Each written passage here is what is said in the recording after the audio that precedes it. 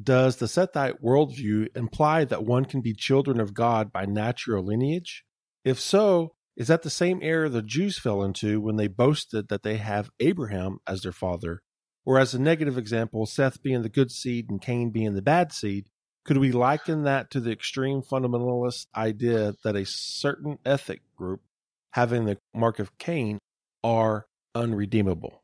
Yeah, it, it it's kind of akin to all that. Um, you know, the, the Jews in the Gospels are basically claiming election by virtue of Abraham. And again, if you believed that Genesis six, you know, was another manifestation of an elect line back to Adam, you know, if you if you take the, the Sethite view, the human view only, and if you believe that that this is about an elect line back to Adam, then you you know you'd you'd fall into the same kind of thinking. Of course, nothing says that any line was elect prior to God's creation of Israel by virtue of Abraham and Sarah. That's when you get you know you get this election language in the Torah, and it's always about you know Abraham and Sarah's descendants, you know Israel. So it, th- that kind of thinking though can get transferred to other passages, and of course it does. Those who would say that the Jews descended from Cain, you know, to, to, to track on the negative example for a moment here.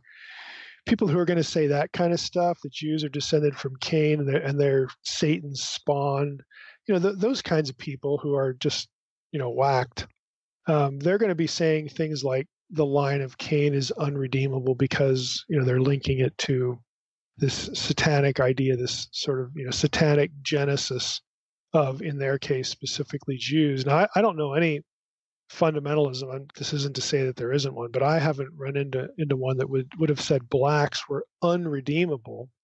Uh, I, I have certainly run into a few people where the mark of Cain was interpreted as skin color. I mean that you'll see, and, and of course you'll read a, a lot about that. But even even people who thought that they you, you couldn't say that all of those people thought that like the, the, the Negro race, or you know, again to use our modern terminology, African Americans, that they were unredeemable.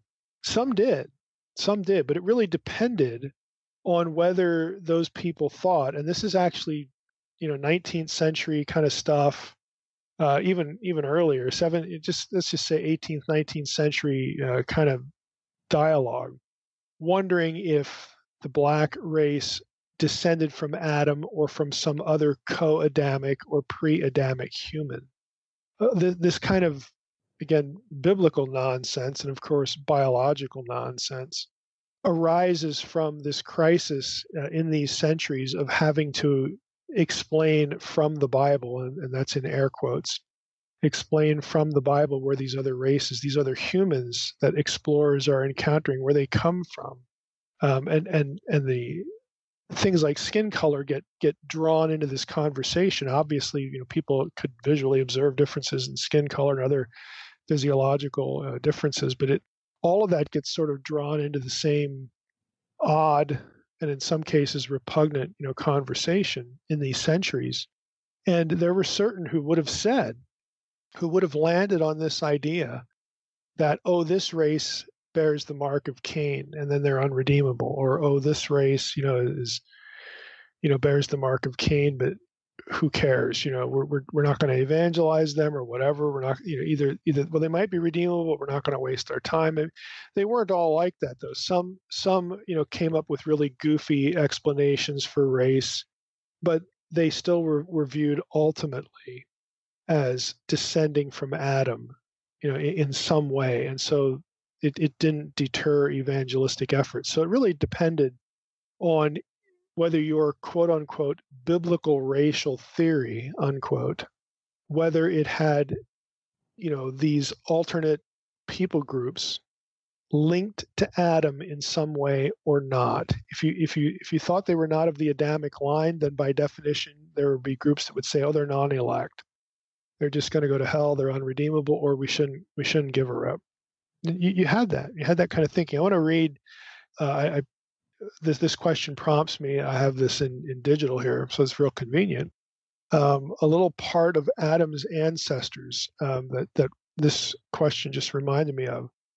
And uh, I've I've referenced this book before uh, on the podcast. If if if any of you are interested in the harm that bad thinking about the Bible can do, this is a must read. I mean, I, I in my library I've collected most of the scholarly uh, books on bad exegesis that led to racial theory, and and this is one of the more important books. Uh, it's it's it's informative, but obviously when you think about the content, it can be tragic too. This is from page 65 of Adam's Ancestors, and it's on the section of of, of that particular chapter that's labeled or, or subheaded human origins and the politics of slavery. So here, here's a short excerpt.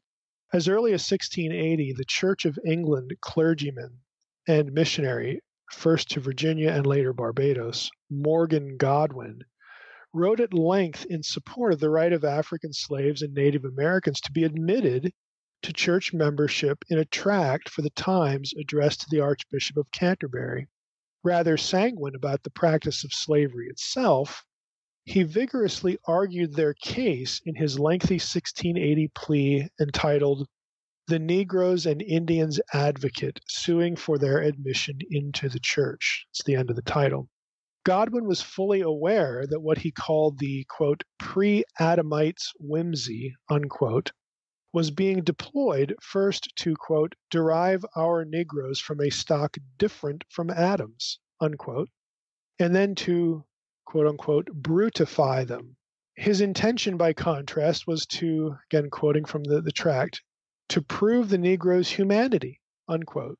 It was a strategy diametrically opposed to those Spaniards, and he seems to have had Sepulveda in mind, who had concluded that certain races were not human in order to justify their murdering the Americans, uh, i.e., the Native Americans. For all that, he acknowledged that fantastic, and false. These are all in quotes, empty and silly. And again, in other words, Godwyn's not buying it.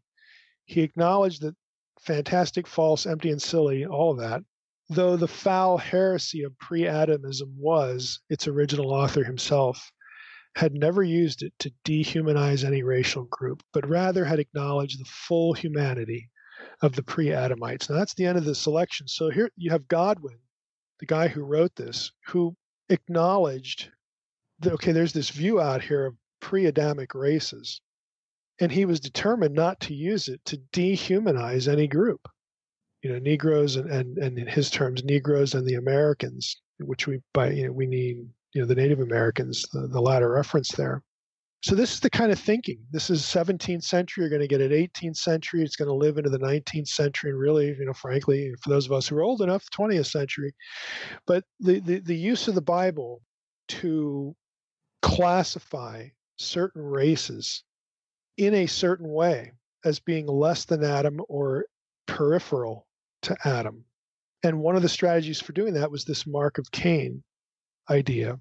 And and and that go does go pretty well hand in hand with the Sethite theory. Now, of course, people who take the Sethite interpretation of Genesis 6, they're they're not doing it so that they can go here. They can go to these wacky racial theories.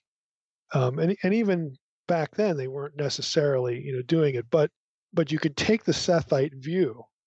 And once you took the Sethite view of Genesis 6, you would go backward and then you would quite literally demonize the Cainite line, and you would insert the Sethite and Cainite dichotomy into Genesis 6. So again, this is part of the Sethite thinking, Sethite view thinking. And, and all of that became fodder. It was and it became fodder for racial theory. You could you could get there from the Sethite view, but let, let's be clear. Uh, people who take the Sethite view uh, over against the, the supernaturalist view of Genesis 6, they're not doing it to 99.9% of the time to justify racism. But in the old days, you know, centuries ago, this is where a lot of that that groundwork was laid. And so I think this is a this is a it's an interesting observation, you know, that the the questioner has here, uh, Daniel. And yeah, you know, you it, it's akin it's akin, you know, to to these other things, but we don't want to necessarily see a cause and effect uh, link to some of this awful stuff that uh, can really be laid at the feet of bad Bible interpretation.